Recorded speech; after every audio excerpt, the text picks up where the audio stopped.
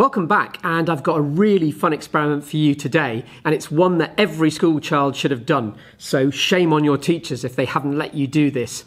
And those of us that are a little bit older, you might remember this one from your school days. We're going to look at the magnetic field due to bar magnets and how we can show the magnetic field.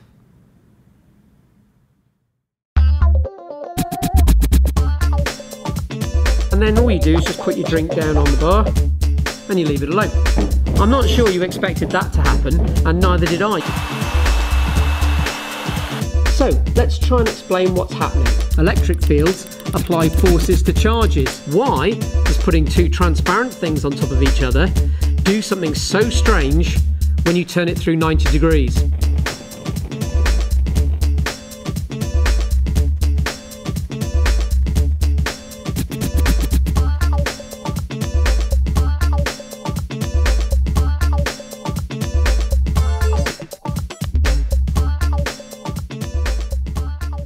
So I'm sure you all know that if you take two bar magnets and bring them close together, if the poles are different, they attract, and if the poles are the same, for example, north to north, they repel.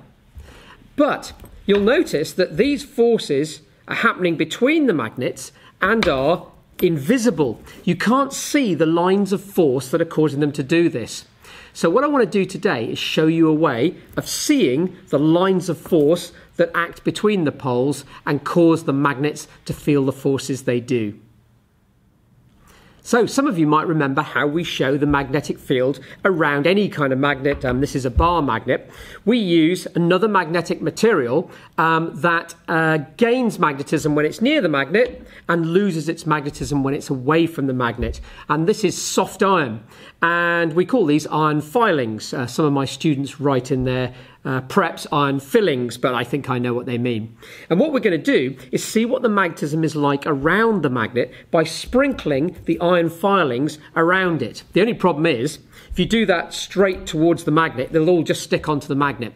So what we're going to do, because magnetism can go through paper, is hide the magnet underneath and sprinkle the iron filings on top.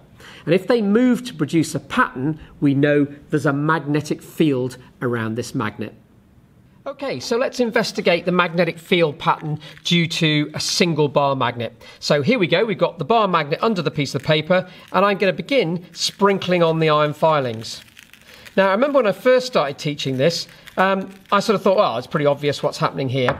But um, it took a while, really, for me to realise that students couldn't actually look at the picture very well and see what was going on.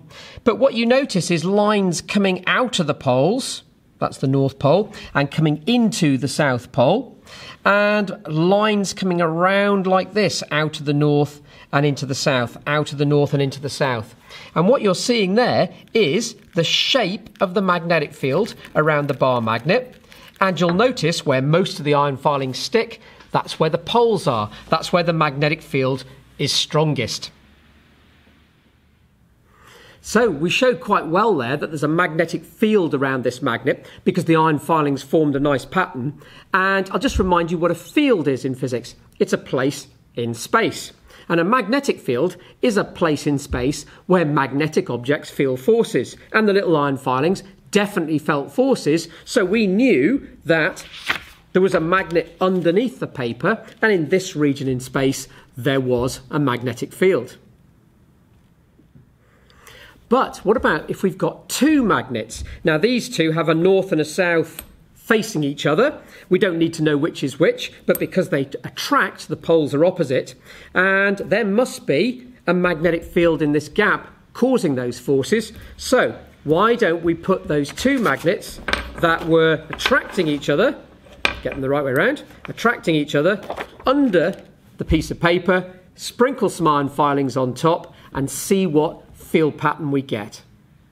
Now let's look at two magnets attracting each other. So we'll hold them apart a little bit and hope the friction will keep them there.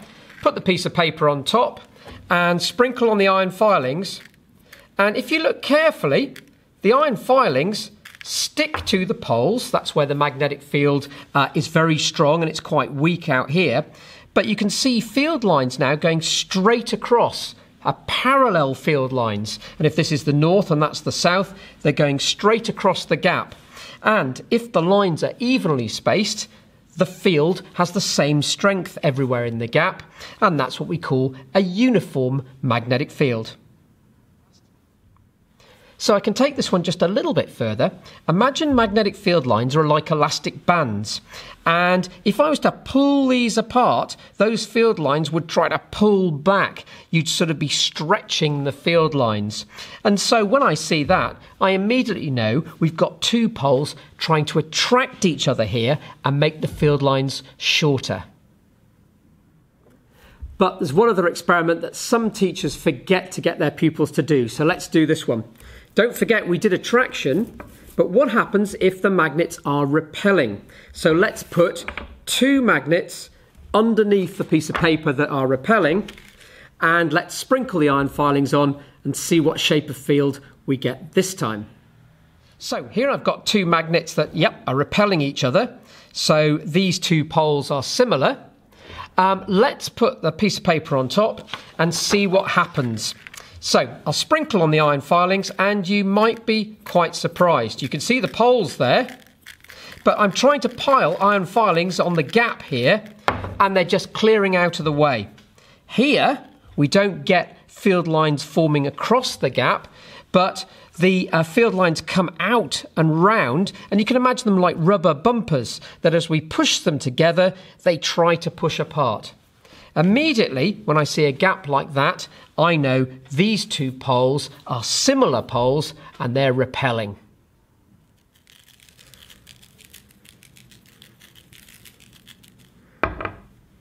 So, I really hope you enjoyed that video and learnt a little bit about magnetic field shapes.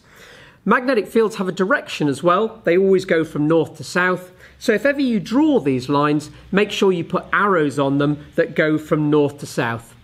Anyway, I'll be making another video soon, and I look forward to seeing you then.